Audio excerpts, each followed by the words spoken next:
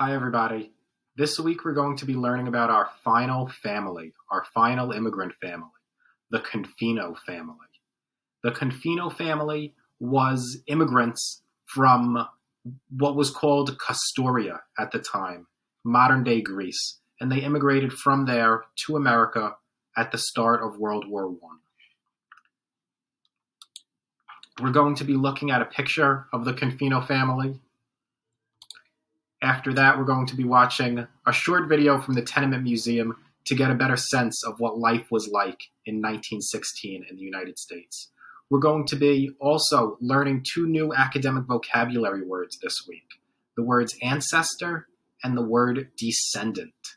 It may be very helpful for teachers to return to our word knowledge, word knowledge building matrix in order to dive deeper into these two very important academic vocabulary words.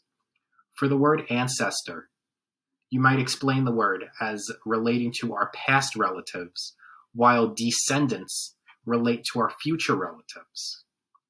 Examples of our past relatives may include grandparents, great grandparents, great great grandparents, while our future relatives may include children, grandchildren, or great grandchildren. It is also helpful to possibly look at the roots of these words so students can start building these deciphering skills on their own. Ancestors has the word anti in the beginning. Ansi or anti means before, means it came before us, while the word descendant has the word descend, meaning move down. Our descendants are below us on a family tree.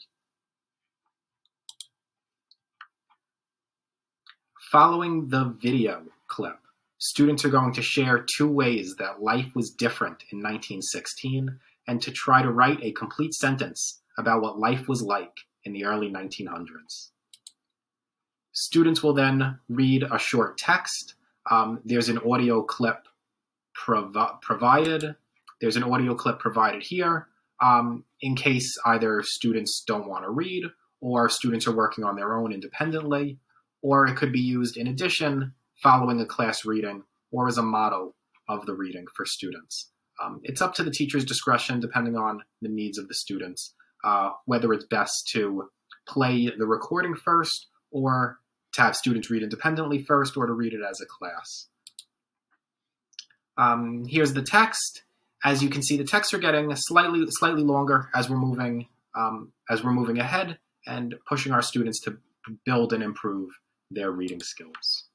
Um, again, there's a number of very interesting discussion questions that may be helpful to use a wraparound strategy, a circle discussion group where students can prepare responses, and then when it's their turn, they can present their response to the rest of the class.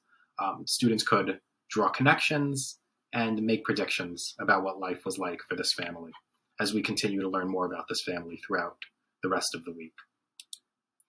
Uh, an interesting activity that students may enjoy is a biography poem where after learning about Victoria Confino, they can uh, analyze her character through use of a biography poem.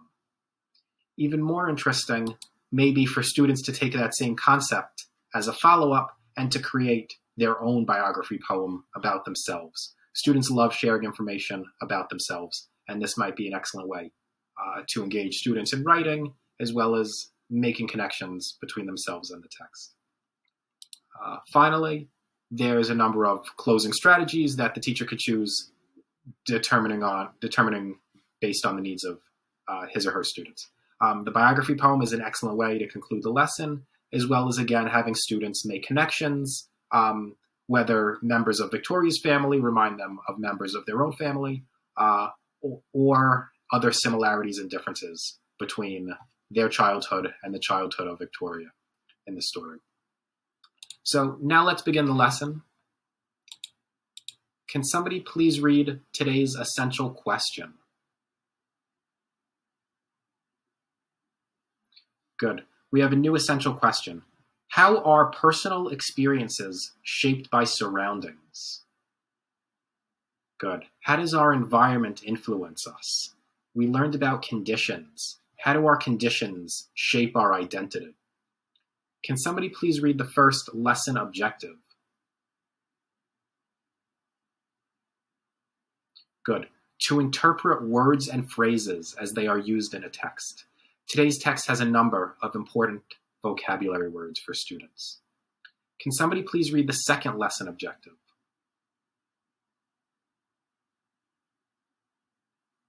Good. To determine and summarize key ideas and details in a text.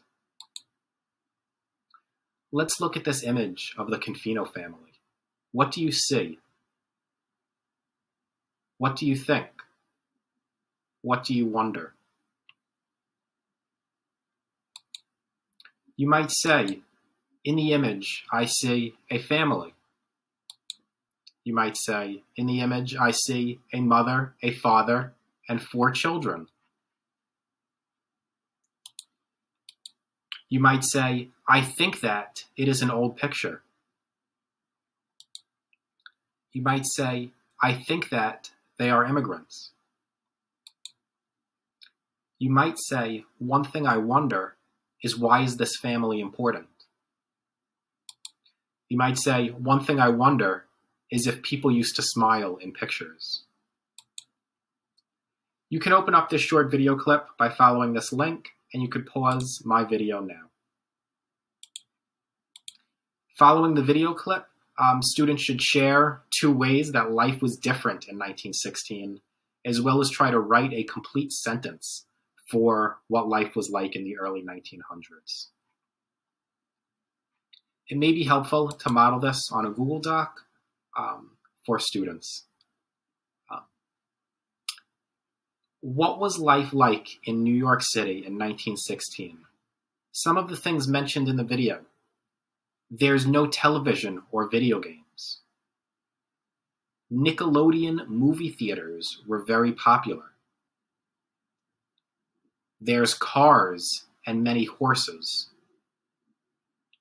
Woodrow Wilson is President of the United States. World War I is happening. 23 million people immigrated to America between 1890 and 1924.